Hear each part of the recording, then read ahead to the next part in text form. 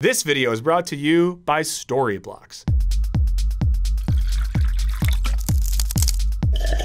Men are from Mars, women are from Venus. This is girl math. Everything I buy with a gift card is free. If I buy something but then I return it, I've made money. And this is boy math. Boy math is packing zero pairs of underwear but 72 beers for a three day camping trip.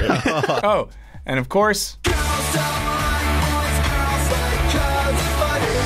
gender. It affects how we dress, the color of our razors, whether we can hug our bros without saying no homo, and maybe even our ability to count. But today, traditional gender is under attack by. This is our country, aye, aye, aye. When a queen is a queen, she don't need no cowboy. Gender issues are sweeping the nation with no child being safe from this. The hips on the drag queen go swish, swish, swish. The outcry today is mostly focused on trans and other gender nonconforming folks, who apparently pose dangers that Chaya Raichik of Libs of TikTok struggled to clearly articulate in a recent interview. The whole thing is based off of a lie, and I think that this lie cannot be mainstream in our in our society. It's just it's a lie. At the same time, we're seeing anxiety about a supposed liberal attack on traditional gender roles. I just think the message that the left has sent men in this country for decades now is that they're trash. And as Tucker Carlson freaks out about the collapse of male testosterone levels, TikTok tradwives lament the tragedy of women having jobs. If you are not familiar with the term tradwife, it is a woman who chooses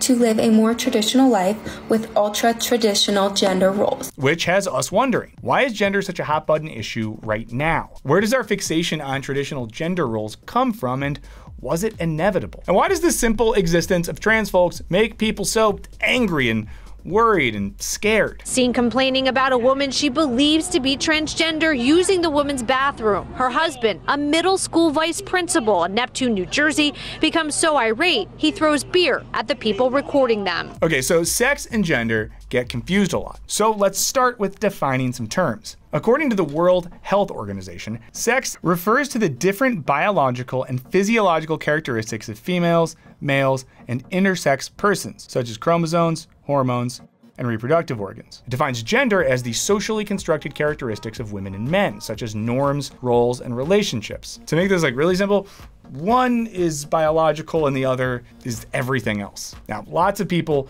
view gender as a binary. We're born male or female, and that's how nature intended it. But this isn't really borne out in the animal kingdom where many species are intersex, and fungi can have thousands of sexes. As scholar Myra Hird writes, the majority of living organisms on this planet could make little sense of the human classification of two sexes. And if you're thinking, Michael, come on, I'm not, I'm not a mushroom, I'm a human, well, know that our genetics don't fully support that binary either. As Mary Hawkesworth writes, more than 25 genes affect sex development, contributing to a patchwork of genetically distinct cells within one body, some of which may have a different sex than the rest. Given the biological complexities of sex and gender, it makes sense that historically, humans weren't really wedded to a binary. Okay, before we keep going, I want to tell you about today's sponsor, who I'm very excited about, Storyblocks. Storyblocks curated stock library has everything you need to create high quality videos in one place with over a million pieces of 4K HD footage, templates, music, sound effects, images, and more. You can also choose from thousands of pre-made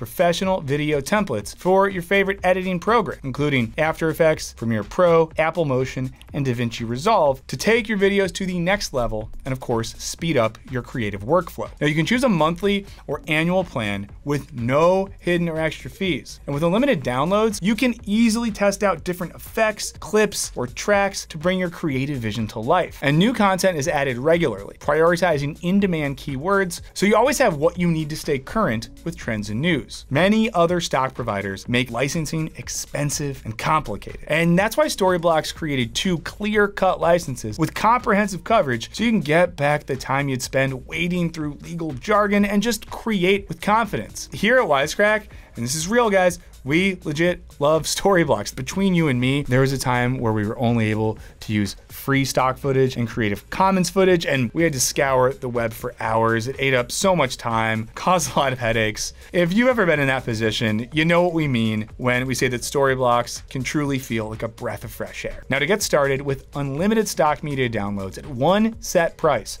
head to storyblocks.com slash wisecrack. Click the link in the description. Again, that's storyblocks.com com slash wisecrack, or there is a link in the description. Okay, now let's get back to the show. As far back as 2500 BC, we have evidence of gender fluidity in grave sites, while there's also evidence that one ancient Roman emperor, Elagabalus, asked to be addressed as a woman and sought out surgical sex reassignment. Many non-Western societies have long embraced gender fluidity, from the Mahu in Hawaii to the Sekrata of Madagascar. More than 150 different pre-colonial Native American tribes acknowledged third genders, according to the Human Rights Campaign. And today, many still embrace two-spirit people who engage with both feminine and masculine traits, like activities and attire, and are often treated as a distinct gender category. Now, this suggests that gender is culturally constructed. And if you've ever taken a gender studies course, if you live in a state where they're allowed to teach those still, then this isn't news. In her iconic text, Gender Trouble, scholar Judith Butler argues that gender reality is performative, which means quite simply that it is real only to the extent that it is performed. Rather than womanness or manness being something essential, they're identities that we affirm every day, whether by wearing makeup, taking your buddies out hunting, or winning drag bingo. Butler concludes the various acts of gender creates the idea of gender, and without those acts, there would be no gender at all. Gender is thus a construction that regularly conceals its genesis. But if gender is a performance, why do we treat it like an absolute essence? Many scholars date our current conceptions of gender back to the 17th and 18th centuries, when the Enlightenment foregrounded natural science over theology and used biological sex as a basis for a gender economy. Thus, according to historian Thomas Laqueur, it's really a modern phenomenon to expect gender and sexuality to be a strict, stable binary. It'd be like this, always. And I'd come home to you every night, and you'd be waiting there. Oh, I would, would I?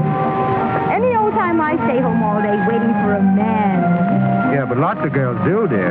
Now, buddy, you've been reading your fairy tales again. Now, the French Revolution perpetuated this ideology. As political scientist and gender theorist Mary Hawkesworth explains, revolutionaries embraced the idea that men and women's sexual differences meant they should have different political rights and roles, and any transgression was a risk to organized society. Under France's feudal rule, class had mostly determined your destiny. But the dawn of republicanism was about re-empowering all people who were men. As Hawkesworth writes, the male Republican political agenda encompassed not only the revolutionary overthrow of the monarchy, but the domestication of women. Whereas French women had previously enjoyed independence and power in public realms, the embrace of sexual difference now restricted them to the domestic. Now, we're definitely not saying ideas around gender or different treatment of men and women didn't exist prior to this. Only that the modern iteration of gender that we take for granted wasn't formalized in this way until this moment in time. Ever since, the gender dichotomy has been a powerful mechanism for social control, using reproductive roles to organize our lives, ranging from division of labor to legal rights. And this binary was exported via colonization. Europeans viewed their rigid gender roles as a sign of their righteous civilization and violently applied those standards to colonies in Africa, Asia, and the Americas that had long granted women political power or embraced trans identities and queer relationships. And this enforcement wasn't just for colonies. Starting in the late 19th century, American society substantially expanded legal authority. New local, state, and federal laws were enacted to govern sexuality and gender, including laws banning cross-dressing and regulating things like marital relations and reproductive health. This represented a radical new level of government interference in the most intimate parts of our lives. By 1912, half of the 100,000 prisoners in Chicago were locked up for violating laws that hadn't existed just about 25 years earlier, mostly laws about morality or sexuality. The legal apparatus, along with social pressures and expectations, strongly consolidated gendered differences and norms, making them appear natural.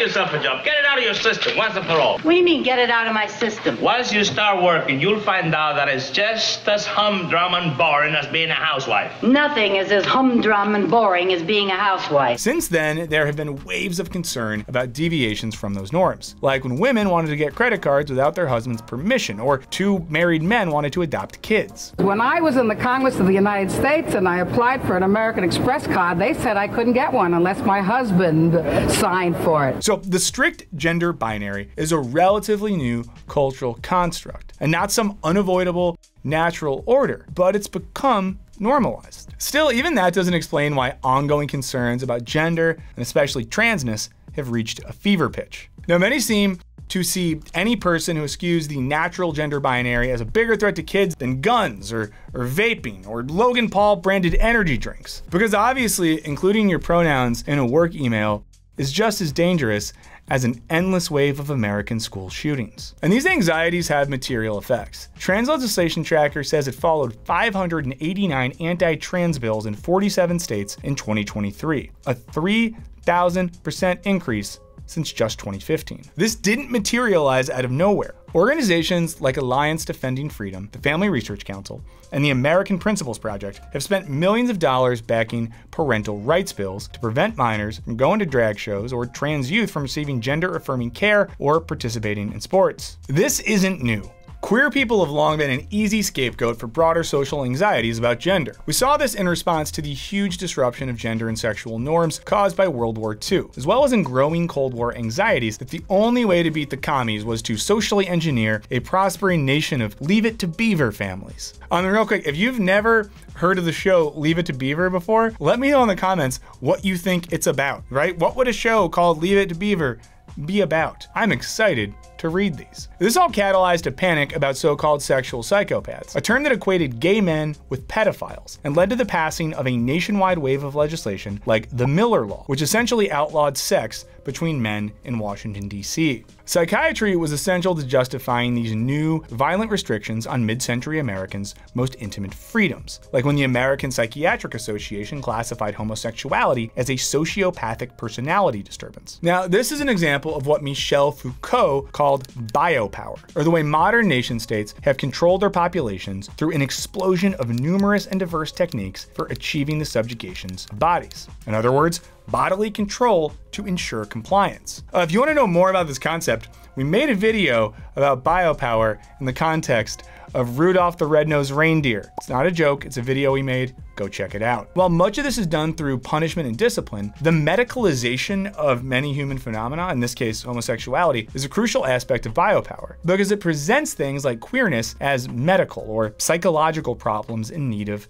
fixing. As historian and author Regina Kunzel writes, the regulation, surveillance, and criminalization of intimate life was facilitated and also masked by the discourse of medicine and the language of illness, treatment, and cure. At the time, psychiatry grew incredibly powerful in large part because of its perceived authority to solve the problems caused by sexual and gender nonconformity. Locked up in psychiatric hospitals across the country, queer patients were treated with electroshock therapy, solitary confinement, sedatives, and so-called aversion therapy, where they were given a paralyzing medication, all to extract the gay from their bodies. Now, historically, queer panic always comes with a heavy dose of, we gotta protect the children, which is a sentiment that we've heard a lot of lately. I'm one of you. I moved from New York, where I had lived my entire life, to Florida to protect my children. The progressive left is using sexual identity issues as a bulldozer.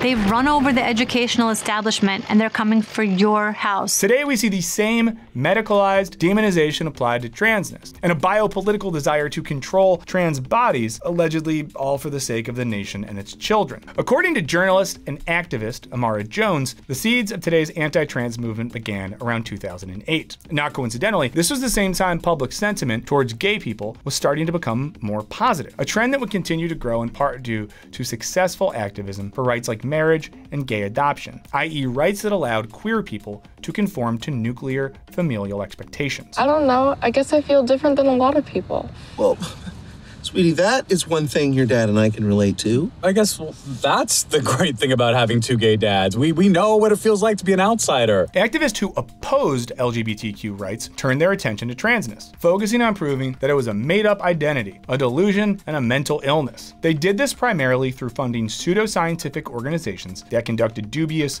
research. In this way, they anticipated the growing visibility of gender nonconformity that was on the horizon. As transness gained more cultural recognition in the 2010s, these groups used their research to frame it as a social contagion. As Imara Jones points out, the scientific approach to disproving transness as an identity is incredibly effective because it erases the element of hate from transphobia and reframes it as trusting the science because you're not a bigot, you're a scientist. The Human Biodiversity Institute, considered a neo-eugenicist organization, came up with the term autogynephilia to describe the mental disorder of trans identity, arguing that it arises from men experiencing sexual arousal when picturing themselves as a woman. In recent years, the term rapid onset gender dysphoria, ROGD, has risen to popularity. It's the idea that transness is a social contagion. So you had a you had a tough childhood in some ways. Can you walk us through some of that before this fake light bulb went on of gee, I I'm in the wrong body and I think I need to be a boy. Kids and adults for that matter aren't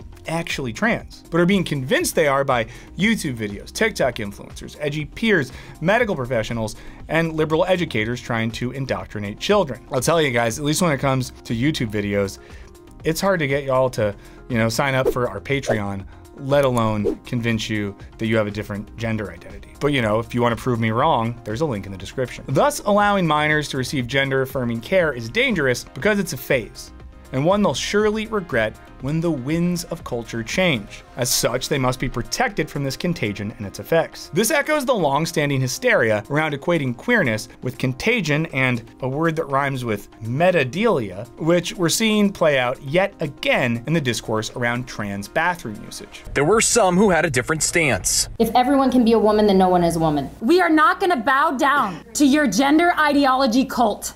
We're not. You're fantasy land. As Matt Sharp of Alliance Defending Freedom, which provides legal support for such legislation, said, it's a sense of urgency. What can we do to protect the children? I'll tell you one thing we, we can't do. We can't pass tougher gun regulation or offer universal child health care. We can't do that. I can't fund uh, teachers more to make uh, schools better and have smaller class sizes, and we can't make education free after college so that young people don't go. We can't do any of that, but this bathroom thing, my man Matt Sharp has it all figured out. And for many in the parents' rights movement, pseudoscience has replaced the actual science. Despite puberty blockers and other gender affirming treatments having been used and tested for over four decades, parents are made to feel like their children are being treated as guinea pigs for experimental drugs or surgeries. Here it's very important to note that trans youth do not receive medical treatment until adolescence, when they may start receiving hormone therapy or puberty blockers, the latter of which simply delays puberty with effects that are entirely reversible. It's extremely rare for a trans teenager under 18 to receive any kind of surgical care. I do remember when I was in high school, a lot of people under 18, all of a sudden, like, a lot of people had deviated septums, but, you know, surgery. It is what it is. And listen, medical care often sucks, and it's understandable that people are wary of it, but this doesn't feel like good faith questioning. For critics of the transgender trend, like British psychotherapist Stephanie Davies-Arai, doctors are fueling the promotion of gender ideology for some unnamed gains, despite she asserts the fact that gender identity is a new and untested theory that contradicts all we know about child adolescent development and psychology. But this is all pretty misleading. ROGD and social contagion theories have been formally disproven, and the idea that trans people are wrong about their identity simply isn't borne out in the data. One Dutch study of nearly 7,000 trans folks found a rate of regret for gender affirming treatment in general to be even less than 1%, and zero amongst youth who receive such care. Even when it comes to transgender surgeries, they are, along with breast reduction, among the least regretted surgeries in the US, with only a 1% rate of regret, as compared to a 30% regret rate for knee surgery. Fun fact, I have a friend that had knee surgery. She got real depressed afterwards, so so I can see that. She's doing okay now, but afterwards, it was not good. While about 13.1% of respondents to a 2021 national transgender study reported having detransitioned at some point in their life, it doesn't necessarily translate to regret. In fact, 82.5% of those respondents cited external factors like pressure from a parent or increased vulnerability to violence is their reason for detransitioning. Despite all this, convincing people that transgender is not a valid identity worthy of protection has worked. In 2022, 60% of Americans told Pew that a person's gender is determined by their sex assigned at birth, up from 56% in 2021 and 54% in 2017. Notably, 44% of Americans say science had a great deal or a fair amount of influence on their opinion. And as increasing numbers of Americans view gender as a biological fact, we're seeing a simultaneous rise in support for restrictions on trans rights. For example, 43% support making it a crime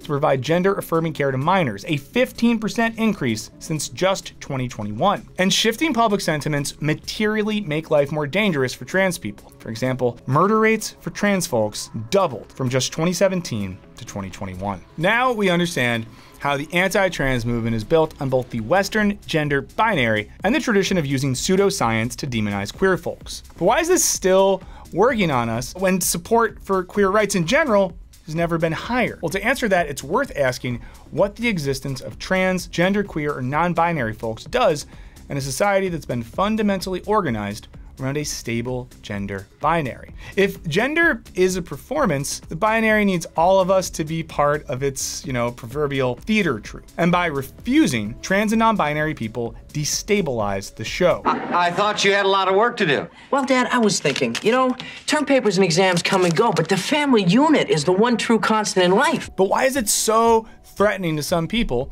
when someone else questions the binary? Well, we can better understand this by returning to biopower, which has been used to enforce the gender binary in the field of medicine and beyond. That binary is inextricable from systems of biopower, which have made a project of, according to civil rights attorney Jillian Todd Weiss, transforming social custom into legal control mechanisms, a sort of natural law theory of gender. Scholars Paisley Currah and Lisa Jean Moore explain that despite being in perpetual crisis, the gender binary is actually preserved by the legal machinations the state requires of its people. From the moment you're giving a birth certificate, your gender is enormously important to how you're categorized by the state. Because of this, sociologist Zine Magubane has argued that antagonism towards people who don't conform to the gender binary comes from a perceived difficulty to classify them and a society that requires citizens to be either man or woman to participate. In other words, trans and non-conforming bodies are seen as difficult to govern. But what end does governing gender serve? Well, according to Judith Butler, it normalizes heterosexuality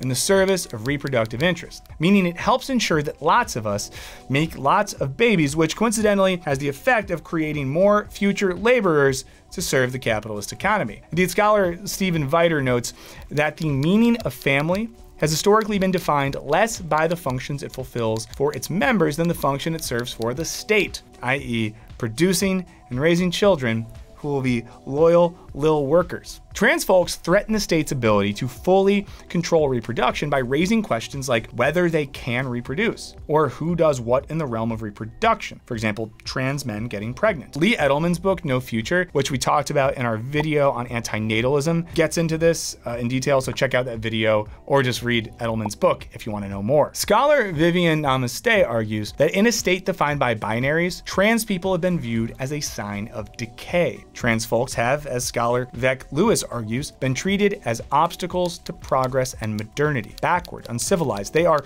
perceived as a threat to the harmony of the imagined social corpus and theorized as a contamination of the national body. If the word contamination in the same breath as national body felt a little bit like you were getting a, a tickle from Hitler's mustache, well, you're spot on, because Nazi Germany is the perfect example of the backlash that can ensue when queer folks become too visible and threatening to the status quo. After World War I, Germany's Weimar Republic witnessed a sexual revolution that saw Berlin become the queer capital of Europe. Queer bars, clubs, and publications fostered a vibrant community, including the world's first trans clinic, the Institute for Sexual Research, which performed the first modern gender affirming surgery. While queer visibility certainly wasn't the reason Hitler came to power, his regime violently cracked down on the community. They shut down the nightclubs and magazines and systematically persecuted queer folks, deporting many to concentration camps. Famously, the Institute for Sexual Research was destroyed, its archives burned in the streets by Nazi students. Oh, sorry, wrong clip. That wasn't from then, that was from a few weeks ago. And I'll just say, like, you know, we're open minded, have the views you want, but if the thing you're doing is a thing that the Nazis also did, I would at least stop and be like, do I want to do the same thing that the Nazis did? And then say no and go inside take a bath. Trans scholars today frequently evoke the Weimar Republic as the most extreme manifestation of the fact that, as Butler puts it, gender is a performance with clearly punitive consequences. And those punishments seem to only increase with larger queer visibility. In our current climate, folks who like to cross-dress or trans people who try to use the bathroom of their choice often risk targeted violence. And trans folks experience a myriad of other legal, social, and medical repercussions. But this doesn't just affect queer people. The potential punishments for transgressing gendered expectations affects how we all behave. We perform our gender identities not solely because they're natural or inherent in us, but because of a society that sometimes violently regulates and enforces them, a process we're hardly cognizant of until someone challenges it. These identities foster rigid expectations of gender, or as social psychologist Brian Nosek and his team of researchers put it, social realities shape minds. Conforming to gender roles out of fear of punishment, even if it just looks like getting roasted for tearing up in kindergarten because of course boys don't cry, necessarily changes how we think about ourselves and how we assess other people. This is why Foucault saw sexuality, which for him included gender, as the intersection of the individual and collective, and thus said it effectively supplies the capillary space of power circulation throughout the biopoliticized populace. I spent an hour and a half teaching one of our girls what she needed to know in order to start on the oscilloscope today. This morning, she isn't here. All these things you've been talking about marriage, absenteeism, personality problems aren't they really just a part of life? Part of a woman's life, maybe. Hence, while gender sure feels like our most private business, it gets constructed as a societal issue. Gender and sex roles are incredibly potent ways to control a population and ensure it continues to reproduce. Transness and gender nonconformity confounds our ability to classify people in the simplest way for reproductive ends. And when people get uncomfortable about this, they blame trans people instead of their own social programming. Challenging binaries is particularly fraught in the West, which, according to anthropologist Michel Rolph Trouillot, based its modernity almost entirely on binaries. As Trouillot explains, Enlightenment era thinking was predicated on a system of binaries like nature versus culture, mind versus body, good versus evil, and so on. Since then, philosophers like Jacques Derrida have challenged the simplicity of binaries as a system via deconstruction, which he used to reveal both the interdependence and power relations implicit in every binary. And these ideas often get associated with postmodernism. For example, French revolutionary men couldn't establish themselves as superior without relying on the binary opposite of woman to call their inferior. If postmodernism destabilized binaries intellectually without completely overthrowing them, transness does the same on a more immediate level in the course of our everyday lives. If man and woman are not the innate categories we think they are, what other binaries might be up for challenge? Trans people have the potential to undermine structures of power that govern our gender and thus our lives. And this, of course, raises questions about other binaries. And that's what makes it so dangerous to folks like Jordan Peterson, who coincidentally hates Jacques Derrida and postmodern thought. Um, if you want to learn more about that, we actually have a video breaking it down that you can check out. But what do you all think? I would genuinely love to know what you guys think in the comments, but I would also ask that we avoid, you know, some of the the vitriol that sometimes happens when we talk about things like this. So, you know, just like be cool. But thank you so much for watching, for hanging out, for commenting, for liking, for subscribing. It means a lot to us. We say it every time, but it just gets more and more true. And a huge shout out to all of our patrons. Seriously, thank you so much. Your support helps us become way less dependent on algorithms and ads and the friggin' fluctuations of the free market. If you've thought about joining, but like most of us, you're kind of broke, we have a new $1 level that you can jump in on. It's a way for you just to basically be like, hey, I like what you guys do. Here's a dollar. And if you sign up for a full year, it's only $10.80. What a deal. What a deal. In the meantime, I don't know, just like hang out and have a nice day, right? There's lots of stuff to get stressed about. A lot of our recent videos can be a little bit of a bummer. So, you know, just just have a nice day. That's what I want for you. And I'll see you next time.